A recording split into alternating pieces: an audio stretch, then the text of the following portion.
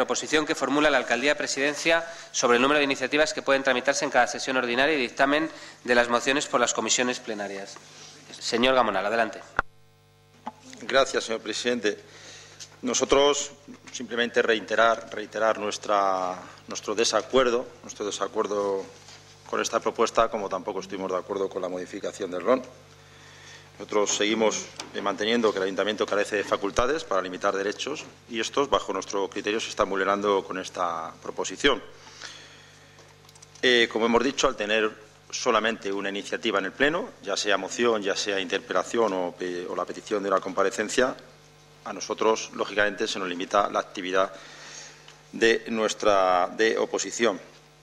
Y sobre todo cuando en la calificación de las iniciativas nos encontramos con la sorpresa de que iniciativas que hemos presentado nosotros en el Pleno, ustedes las pasan directamente a ruego, cuando en otros ayuntamientos se ha tratado como mociones. Es decir, aquí entendemos que hay una arbitrariedad en ese sentido y, por lo tanto, aquí va a estar sujeto, cuando traigamos una, una moción o cualquier iniciativa, como solo podemos traer una, que en el informe y después en la valoración por parte del señor alcalde diga que pasa un ruego, pues nos hemos quedado sin iniciativa en ese pleno. Entonces, yo creo que esto que tienen ustedes, esta limitación de iniciativas, es para que los plenos acaben rápido y contra menos diálogo mejor.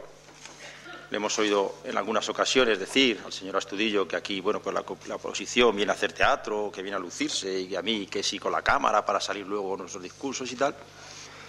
No, eso no es verdad, señor Astudillo. Eso no, no, no. Eh, perdone, señor Gabriel, lo que pasó es que usted quería Mire. que adaptáramos la hora de la sesión plenaria a cuando su Cámara podía, y perdóneme, pero es que no estamos para, para ponernos de acuerdo con las agendas de su Cámara, entiéndanos. ¿eh? Esto no es el programa Mi Cámara y yo, es un pleno de una ciudad que, que, que, que en fin, es lo único.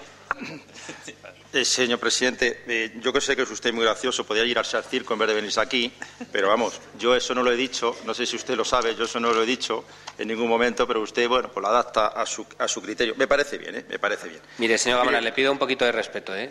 ¿De acuerdo? Mismo... Yo no le digo a usted que se dedique usted al huerto. Si a usted, ¿eh? si Entonces, a usted, le pido a usted que tenga un poquito si, de respeto. Si a usted, ¿De acuerdo? Si a usted, sí. Vale. Si a usted, si a usted le, le yo, si usted ve que o entiende que le falta respeto, le pido disculpas, pero el mismo respeto que usted le, me pide para usted, también se lo pido yo para mí. Y no diga cosas que yo aquí no he dicho. ¿De acuerdo? Mire, nosotros venimos aquí con propuestas ¿eh? y creemos que son necesarias estas propuestas para los ciudadanos. Podremos estar equivocados o no, pero es nuestro criterio y yo creo que es nuestro derecho. Lo que ustedes intentan con esta proposición es que los plenos tengan menos duración y que los grupos tengamos menos posibilidades de presentar iniciativas para obtener ustedes, lógicamente, un beneficio político.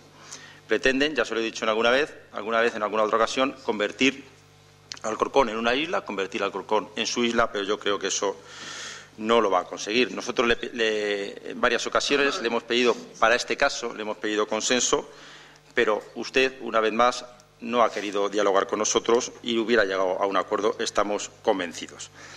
Y mire, señor presidente, usted lleva mucho más tiempo en política que yo, pero tampoco creo que lleve usted demasiado tiempo. Lleva mucho más que yo, pero no lleva mucho tiempo. Y siempre ha estado usted resguardado bajo un paraguas que le otorga las mayorías absolutas, tanto la Comunidad de Madrid como en el Ayuntamiento de Alcorcón. Y yo creo que usted está mal acostumbrado a dialogar con la oposición, se lo digo sinceramente porque la democracia yo creo que también es diálogo con la oposición para llegar a posibles acuerdos. Recuerde que no siempre estará usted bajo ese paraguas. Y entonces, esté donde esté usted o esté donde nos encontremos los demás, se acordará usted, se acordará usted la actitud con la que usted trataba a la oposición de Alcorcón. Nada más y muchas gracias.